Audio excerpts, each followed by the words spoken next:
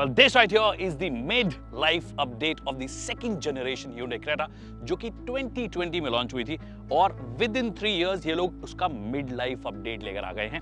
Hyundai की अगर आप बात करोगे या टाटा की बात करोगे तो ये लोग मिड लाइफ अपडेट को कंप्लीटली चेंज भी कर देते हैं in terms of design language same चीज़ पर भी हुई है।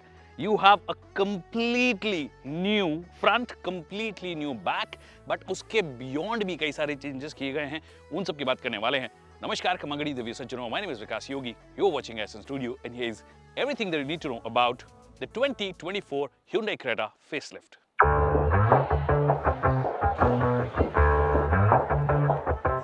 Yeah, it's a day. I'm hanging in the sunshine. You should hit me with the splash gun so I cool down. Won't you come on over?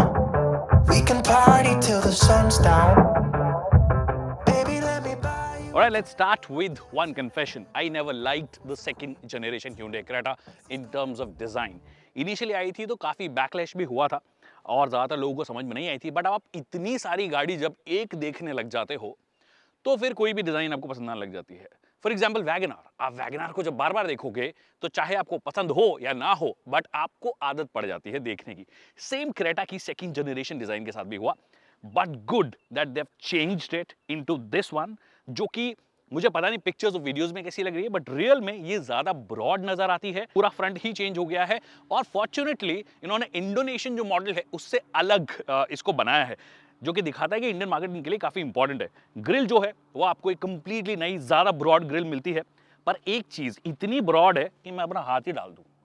देख रहे हो? और सिर्फ़ हाथ नहीं मतलब इसके अंदर वो उड़ते हुए कबूतर और आपके चूहे और हज़ार तरीके की चीज़ें, मैं बोलता हूँ, सामान भी रख दो आप।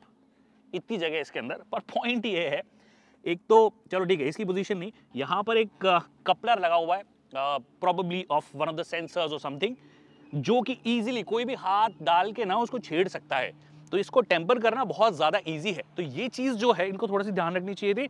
और यहाँ से आप चूहा छोड़िए, पूरी चूहों की फैमिली अगर एक साथ भी आएगी तो घुस जाएगी इसके अंदर। इतना गैप है।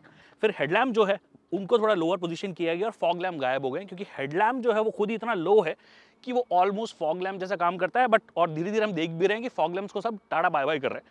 With this update you also get the level two ADAS features जिसका अब मॉड्यूल यहाँ पे लगा है। रेडार का फ्रंट रेडार है रियर रेडार है, जिसको आप देख नहीं सकते हो। ऑल्सो यहाँ पे कैमरास लगाए हैं। So radar plus camera module आपको एडास लेवल टू के सारी फंक्शनैलिटी देता है, जिसके बारे में थोड़ी देर में बात कर लेंगे। वैसे बहुत ज़्यादा बात कर चुके हैं हम उसकी। ना भी करें तो बहुत बड़ी बात नहीं होगी।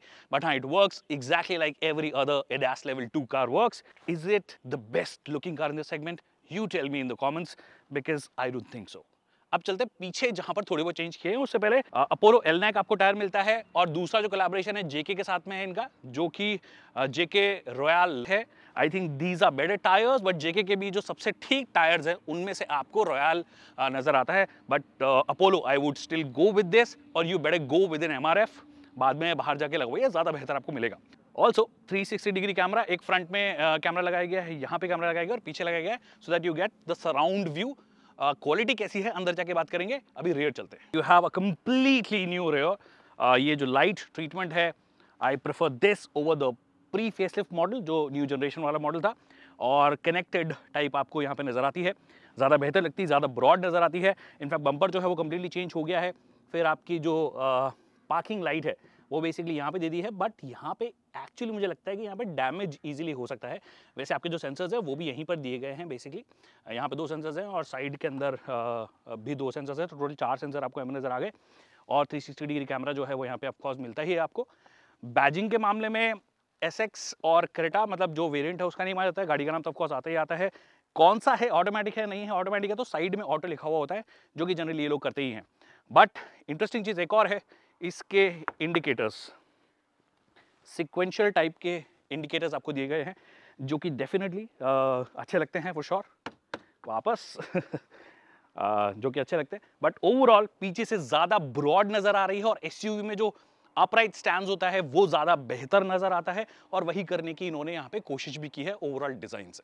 I welcome you to the new interiors of the updated Hyundai Creta और अंदर आओगे एक मिड लाइफ अपडेट के हिसाब से। काफ़ी मेजर चेंजेस स्पेशली डैशबोर्ड में आपको नज़र आएँगे। कलर कॉम्बिनेशन की अगर आप बात करोगे बाय द वे कॉपर ये भी यूज़ करते हैं but they do it tastefully Mahindra doesn't do it so tastefully but हाँ कलर कॉम्बिनेशन में अगर आप देखोगे तो ये बेज है this is grey this looks really nice with bronze ये सही सारी चीज़ें सही लग रही है। और ब्रोन्स को सिर्फ़ यहीं पे रखा है। Uh, और ऑफकोर्स ये सबसे बड़ा चेंज तो ये है ही। ये दो स्क्रीन्स आपको मिल गई हैं। Ten point two five inch ten point two five inch दोनों की जो साइज़ है, अच्छी खासी है। और फंक्शनैलिटी में सब कुछ सेम है, जो पहले वाले में मिलता था। बट आपको ये कनेक्टेड जो लग रही है, एक कर्व यहाँ पे बनता है basically this is the curve जो डिज़ाइन कर्व है दो डिफरेंट ऑफकोर्स आपके पास में डिस्प्लेज uh, हैं. ये टच स्क्रीन डिस्प्ले है ये डिस्प्ले है. और of course Jio Saavn Zoom के सब्सक्रिप्शन uh, आपको मिल गया है. आप uh, अपने ब्लू लिंक अकाउंट से अगर उसको यूज़ करोगे तो आपको ये चीज़ मिल जाएगी. अगर if you use it you can definitely do that phone easily connect हो जाएगा. आपको अपना मोबाइल नंबर और वेरिफिकेशन कोड वगैरह और दैट ये सब चीज़ें डालनी है. बट मैंने अभी किया नहीं है क्योंकि मेरी गाड़ी नहीं है. बाकी एक और चीज़ 360 डिग्री कैमरा आपको मिलता है, जो कि मैंने आपको एक्सटीरियर में दिखाया था बट अंदर से क्वालिटी आपको दिखाता हूँ। Just look at it the quality is pretty good different angles अगर आपको देखने हो तो डिफरेंट एंगल्स जो है, वो आप देख सकते हो। So yeah the overall quality is actually pretty good और ये चीज़ तो डेफिनेटली कंसिस्टेंट है इनके प्रोडक्ट्स में कि 360 डिग्री सिर्फ़ नाम के लिए नहीं दिया है यूज़फुल भी है कि भाई यहाँ साइड से प्रॉपरली आपको नज़र आ रही है चीज़ें। और ये देख रहे हो? वाइट कलर में बनाए इन्होंने ये। थोड़ा कम पैसा लगाया है। ग्रिल तो सेम बनाई है ना? सेम बनाई सेम तो बाकी यस इस तरीके का व्यू चाहिए तो वो भी आपको मिल जाता है, जो कि यूजली हम पहले थोड़ी एक्सपेंसिव कार्स में देखते थे बट आजकल बतेरी कार्स में ऐसा मिलता है। By the way colour combination में भी ना हल्का हल्का चेंज किया स्पेशली अगर आप रेड को देखोगे स्पोर्ट मोड पे जब आप जाओगे तो ये रेड जो है और ये कलर है काफ़ी एक्चुअली अच्छे लग रहे हैं ग्राफिक्स इनमें थोड़ा सा चेंज किया गया है जो कि बहुत ही मामूली चेंज है। बाकी मोरलेस सेम आपकी स्क्रीन मिलती है। और ये ड्राइवर साइड आपको ये मैग्नेट तो नहीं मतलब आयरन लगाया गया है तो मैग्नेट पैड इसको बोलते हैं। अगर आपका मैग्नेट हो कोई फ़ोटो लगानी हो कुछ भगवान की फ़ोटो लगानी हो कुछ भी लगाना हो आपको बेसिकली आप यहाँ पे लगा सकते हो। आ, बट फ़ोन वोन मत लगा लेना आपके पास में सारे जुगाड़ होते हैं कि फ़ोन में मैग्नेट लगा के यहाँ पे चिपका दो आप। वो मत करना दैट्स डिस्ट्रैक्शन और फिर ऐसे ऐसे मत करते रहना। और एक और चीज़ जो आप देखोगे वो ये कि जो वेंट्स हैं वेंट्स का भी जो शेप है वो आपके लिए अलग कर दिया गया है। आ, मतलब जो डिज़ाइन है बेसिकली वो अलग कर दिया गया है। एसी में कोई चेंज नहीं है बट डुअल जोन हो गया है। मतलब एसी की कैपेसिटी में कोई चेंज नहीं है डुअल जोन क्लाइमेट कंट्रोल हो गया है। दैट मीन्स फ्रंट पैसेंजर और ड्राइवर अपने अपने हिसाब से टेम्परेचर को एडजस्ट कर सकते हैं। मेरे को 20 करना है इसको 24 करना है। मतलब basically whatever you want to do तो डुअल जोन क्लाइमेट कंट्रोल आपको मिल गया है। बाकी इसका भी ऑफकोर्स जो लेदर इट है उसका कलर जो है वो चेंज हुआ है। बाकी शेप जो है वो एग्जैक्टली सेम है। पेडल शिफ्टर्स आपको यहाँ पे दिए गए हैं। This is basically the torque converter diesel version just a moment yes this is the diesel version torque converter है उसके बाद में पेडल शिफ्टर्स आपको मिलते हैं तो वो सेम चीज़ है उसमें कोई चेंज नहीं है। Uh, एक चीज़ जो चेंज कर देते तो आई थिंक थोड़ा बेहतर हो जाता। ये बटन्स देख रहे हो? They somehow remind me of Toyota जो अपने बटन्स जो हैं पुराने ज़माने के रखते हैं, ये बटन्स उस, इस पूरी गाड़ी में जो प्रीमियमनेस को सबसे कम चीज़ कर रही है, वो इसके ये बटन्स हैं। हाँ ठीक है, अच्छी बात है बटन्स दिए हैं, सब कुछ टच नहीं दिया है और हर चीज़ के लिए डेडिकेटेड आपके पास में बटन है। वॉल्यूम कंट्रोल के लिए बटन है, टेम्परेचर के लिए बटन है मतलब दोनों के, और आपको रेडियो वीडियो कुछ चेंज करना हो तो उसके लिए बटन है। Everything is pretty sorted is just the button they look little off जब आप पूरी गाड़ी को एक साथ देखते हो। फिर ये जो स्पेस है, ये रबराइज सॉर्ट ऑफ़ टेक्सचर आपको दिया है which kind of hold your phone really well मतलब अगर आपको फ़ोन रखना हो या कोई भी चीज़ रखनी हो तो होल्ड अच्छे से कर, कर लेता है ये।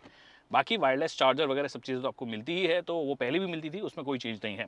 एक और चीज़ जो बहुत ही खूबसूरत नज़र आ रही है वो इसकी सीट्स सीट्स जो हैं colour combination have become much much better it this definitely looks apart और पाइपिंग जो है ऑरेंज कलर की पाइपिंग की है बहुत ही टेस्टफुली किया गया और ऑफकोर्स वेंटिलेटर सीट्स है तो ये छिद्र आपको नज़र आ रहे हैं। But overall this is been done tastefully और ऑरेंज स्टिचेस आपको बहुत जगह पर नज़र आएँगी। यहाँ पर भी, यहाँ पर भी आई विश इसमें क्यों पता नहीं इन्होंने छोड़ दिया है।